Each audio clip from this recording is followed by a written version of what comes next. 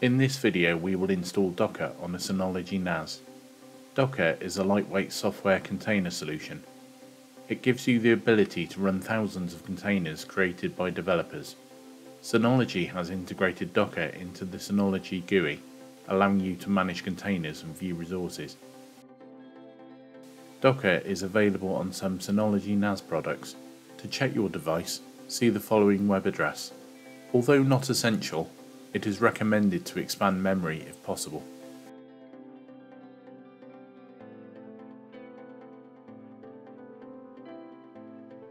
To install Docker, log into your NAS.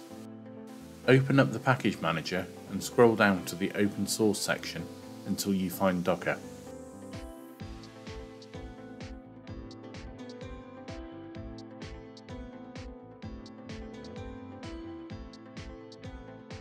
Click install. DSM will download Docker and will run the setup.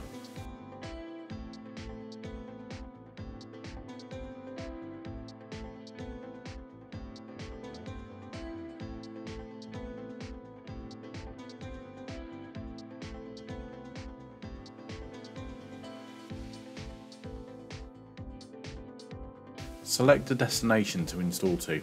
This is normally your first disk. Click Next.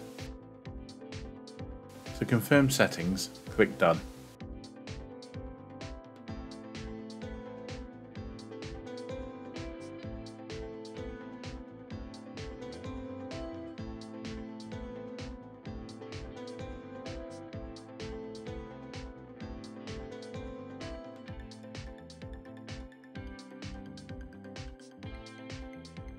Once installed, you can either open Docker from here, or open up the program folder and open it there.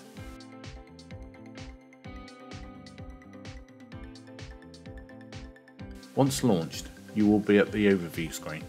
This is where you can see CPU and RAM usage, along with any running containers. On the container screen, you can create a container. It will advise there is no image and will suggest you go to the registry page and download images. From the registry screen, it will present you with a list of popular containers at Docker Hub. The image screen is where images are found once downloaded from the registry. The network screen is where you can set up networking rules. Finally, the log screen shows you all actions you have taken within Docker, which can be useful to resolve any problems.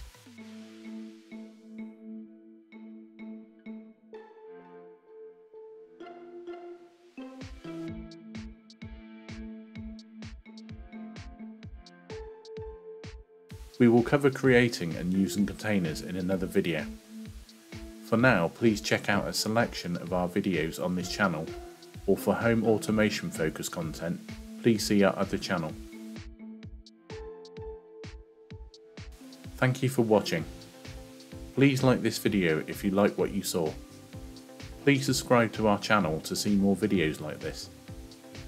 If you'd like to support the channel, please consider becoming a patron at our Patreon or join our channel. The details are below.